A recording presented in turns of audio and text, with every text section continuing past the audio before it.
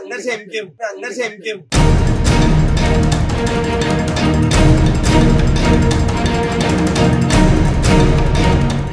बदलते मौसम के बदलते रंग। आमिर लियाकत जब बोलते हैं तो सब हो जाते हैं दंग। टीवी इंटरटेनमेंट से लेकर न्यूज़ और न्यूज़ से लेकर सोशल मीडिया के हर प्लेटफॉर्म पर आमिर लियाकत हुसैन की शख्सियत हमेशा मुतनाज़ा खबरों के साथ गर्दिश करती रहती है। मुतनाज़ा बयान की टॉप लिस्ट में शुमार आमिर लियाकत ने एक और गरमा देने वाला बयान दे डाला। मुन्नी बदनाम हुई, ये तो पता नहीं, लेकिन आमिर लियाकत बदनाम हुए, वो खुद ही नहीं जानते। मुन्नी बदनाम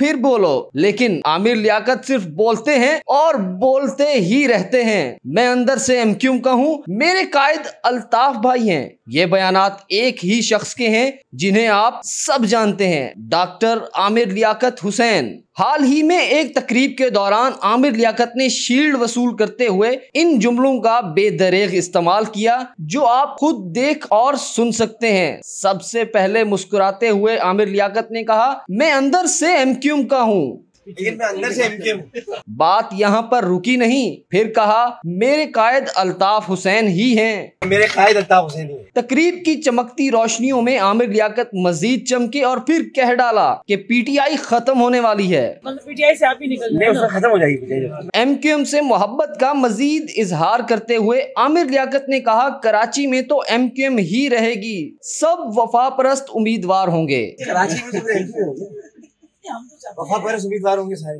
पाकिस्तान तहरीक इंसाफ के रुकन कौमी असम्बली आमिर लियाकत हुसैन के ये मुतनाज़ा बयान गौर तलब हैं। मैं शुरू से ये तो तबलीगी जमात थी जिस पर हुकूमत का नोटिस लेना बेहद ज़रूरी है। सोशल मीडिया पर ताहाल आमिर लियाकत के इस मुतनाज़ा बयान पर तनकीदी बहस चल रही है जबकि कुछ सार्फिन डॉक्टर आमिर लियाकत के इस बयान पर उन्हें खुश आमदीद भी कह रहे हैं। आपके ख्याल में डॉक्टर आमिर लियाकत का दावा कि मैं एम क्यू एम का हूँ सही था या गलत? इस हवाले से आप हमें कमेंट सेक्शन में ज़रूर आगाह कीजिएगा।